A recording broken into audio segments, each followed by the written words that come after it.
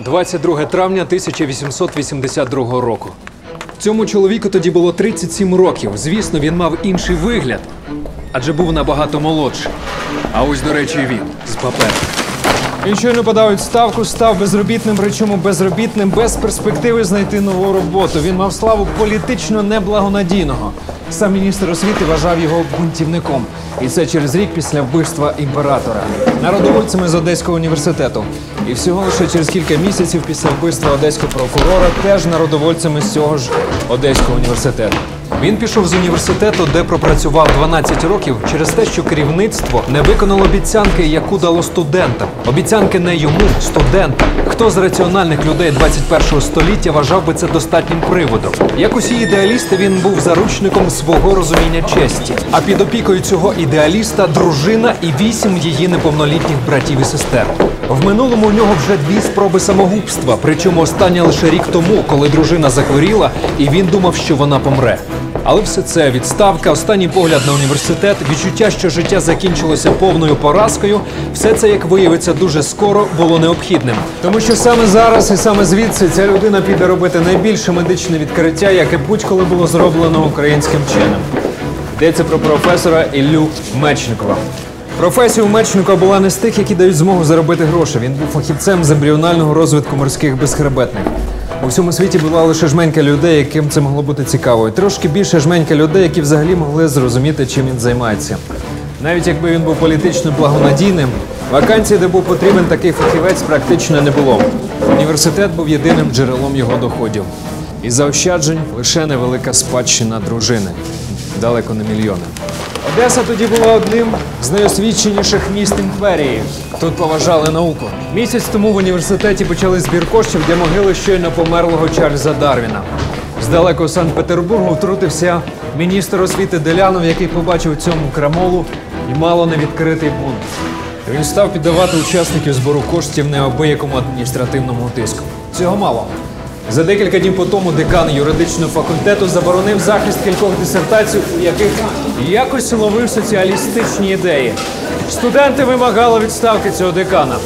На переговори з ними відправили нашого теперішнього безробітного і дали тверду обіцянку. Якщо студенти мирно повернуться до занять, декана буде звільнено.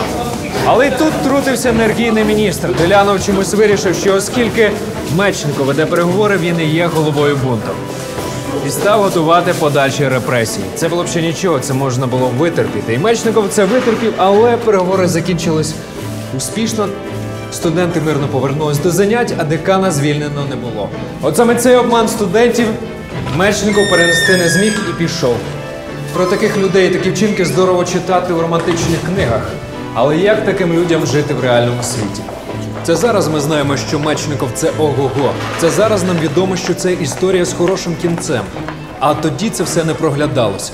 Мечников тоді був далеко не ого-го. Усе те, що зробить його ого-го, було попереду. Що б зробила раціональна людина на його місці? Людина в строгому костюмі і з портфелем. Зібрала б всі наявні кошти в кулак і економно їх витрачала, щоб протягнути якомога довше. Але і люди без строгих піджаків і портфелів навряд чи витратили б вихідну університетську платню на будівництво школи в рідному селі своєї дружини. Раціональна людина в такій ситуації хапалася б за будь-які пропозиції роботи. Мечников цього теж не зробив. Йому запропонували отримати субсидію і взяти участь у боротьбі з хлібним жуком. Мечников відмовився, тому що не цікаво. Раціональна людина шукала б енергійну роботу, але які в Мечникова були варіанти? В Російській імперії він опинився в чорному списку. Але можна було б спробувати університети Гісена і Геттінгена, де він робив студентську та намагався робити аспірантську роботи. От тільки в першому університеті він свого часу влаштував скандал, тому що керівник вкрав його відкриття, а з другого університету його витурили за невміння препарувати. Але ж існував університет в його улюбленому Неаполі. І взагалі в Європі було безліч інших університетів. Десь таки візьмуть на роботу професора біології з 12-річним стажем. До речі, уже існував університет у Бухаресті, де, скоріш за все, взяли б на роботу нащадка стародавнього валаського роду Спафарія. Мечников є буквальним перекладом молдавського прізвища роду. Але Мечников нікуди на роботу влаштуватися не намагався. Він розпорядився невеликими коштами, які успадкувала його дружина, зовсім нераціонально. Він зібрав усе своє величезне сімейство і виїхав до містечка Месіна на Сицилії. Тут на Сицилії він орендував будинок і влаштував у ньому невелику лабораторію, щоб займатися. Що ти з ним зробиш? Мечников зайнявся все тими ж нікому не потрібними зародками морських безхребетних. Але чому Сицилія? Чому б не ловити морську живність в Одесі? Тому що ті безхребетні, які цікавили Мечникова, водились не в Одесі, а на півдні Італії. Мечникова цікавили біпінарії. Довгий час біпінарії вважали особливими морськими тваринами. Але потім з'ясувалося, що це лише одна зі стадій розвитку морської зірки. В певний момент навколо травного каналу біпінарій формуються нові органи. Причому старі органи продовжують функціонувати. Ось це новоутворення, що захопило в полон травну систему біпінарій, це і є морська зірка. Ця морська зірка розриває біпінарій всередини, виходить назовні, починає самостійне життя. Раніше Мечников вивчав передгубок, що являють собою клітини, укладені у два шари. Харчуються вони, вихоплюючи істівні частки з навколишнього середовища. Немов у грі. Всі ті клітини повзуть всередину, голодні на їх місце і так по колу. Це явище Мечников писав трохи раніше в тому ж році. Так само, як і саме явище пожирання клітиною частинки із зовнішнього середовища. Пожирання вперше спостерігав Ослер в 1876 році. Але він не зрозумів ані значення, ані механізму, ані універсальності цього явища. Власне, він взагалі не замислювався над такими матеріями. Це зробив Мечников. Тому весь світ і каже, що саме Мечников відкрив пожирання.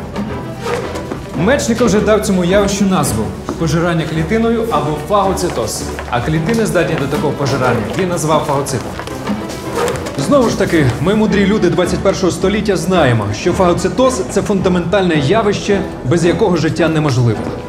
Але в 1882 році фагоцитоз здавався лише екзотичним явищем із життя примітивних морських істот. І от тепер Мечников захопився спостереженням за життям прозорих личинок морських зірок біпінарій. Ось її клітина. Нічого особливого. Оце ядро. Ось комплекс Гольджі. А це сторонні частинки їжа. Клітинка вихопила ці частинки із зовнішнього середовища і втягнула в себе за механізмом того самого фагоцитозу. Природно, що випадкових часток всередині більше, ніж їжі, що доволі логічно. Отаке дослідження. На що воно тягне? На Нобелівську премію чи на прохідну наукову статтю в журналі? Або навіть на статтю не тягне. Власне, що нового відкрив Мечников у Месіні? Фагоцитоз він вже описав раніше, фагоцити він теж описав теж раніше. Фактично, все, на що Мечников просадив спадок дружини, це підтвердження того, що фагоцити є не тільки передгубок, але й у личинок морських зірок.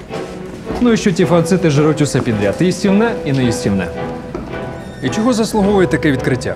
Легкого сарказму, родинного скандалу, наукової статті чи Нобелівської премії? Насправді різниця між чотирма цими варіантами це одне єдине питання, яке поставити я б собі не додумався, а Мечников додумався. Відповідно, я б отримав легкий сарказм у свій бік, а Мечников саме за це дослідження отримав Нобелівську премію. Питання, яке поставив собі Мечников, було таке: а можливо, ті неїстівні частки опинилися в фагоцитах не випадково? Ну от і все. Нобелівська премія в кишені. На вулиці стояв різдвяний тиждень. В Італії вже 1883 рік. В Російській імперії все ще 1882. Мечников був вдома один. Він ходив по будинку, не знаючи, що робити. А потім від надміру емоцій побіг на берег моря і почав ходити там. Потім повернувся. Ось тут і трапився знаменитий хрестоматійний шип троянди. Мечников йшов через сад. Там з нагоди Різдва була влаштована різдвяна ялинка. Діти прикрасили мандаринове дерево, прикрасили в тому числі і трояндами. Однією з цих троянд Мечников відламав шип, повернувся з ним до будинку і струмив той шип тіло нещасної біпінарії. Якби то була звичайна наукова лабораторія, Мечников залишився б ній ночувати і всю ніч стежив за тим, що відбувається. Але Мечников був вдома, сім'я повернулася з міста.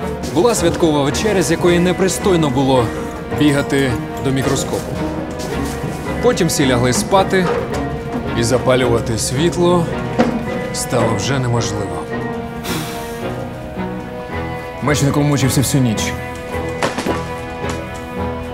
А потім вранці червоними від безсонної ночі очима побіг до мікроскопу. Що ж він там побачив? А побачив він, як універсально поводяться фагоцити в тілі будь-якої тварини. Так вони поводяться і в нашому тілі. Накидаються на чужака, зазвичай це незаконно прониклі бактерії, і пожирають того чужака, щоб він не наробив шкоди. Заноза була оточена безліччю фагоцитів. За ніч вони всі накинулися на шип, навіть розмножилися і тепер розтягували його на дрібні частинки. Мечников став пхати в біпінарію все підряд. Від нових шипів троянд до крапель власної крові. І результат був кожного разу один і той самий. Все, імунітет відкрито. Весь рік Мечников збирав докази. Гроші закінчувалися, довелося повернутися до Одеси. Але головне вже було зроблено. Дослідження можна було продовжувати і тут. Мечников почав збирати докази. Він вивчав заражених спорами хворих рачків Дафній. Там у тілах хворих Дафній відбувалося дивне змагання. Якщо спори бронькувалися швидше, ніж їх пожирали фагоцити, Дафнія гинула. Якщо ні, рачок одужував. Останнє відбувалося в більшості випадків. А як же інакше? Реальність імунітету була доведена. Так і вийшло, що Мечников до 1882 року, Це біолог з екзотичною вузькою областю інтересів. а після 1882 року всесвітньо відомий вчений інфекціоніст з найширшою базою даних. Мечников, звичайно, переміг. Епохальне відкриття було не просто зроблено, але й доведено. Доведено навіть для найвпертіших супротивників. Як же Мечников став тим, яким він став? Якась певна риса характеру? Вміння мислити не так, як інші. Бачити можливості там, де інші знизують плечима. Наполегливість, яка змушує робити наступний крок там, де шлях, здавалося б, закінчився. Може, просто везіння? Кожен з нас може дати свою відповідь. До речі, досягнення Мечникова найбільший вклад у світову медичну науку, яке будь-коли зробила людина з території сучасної України.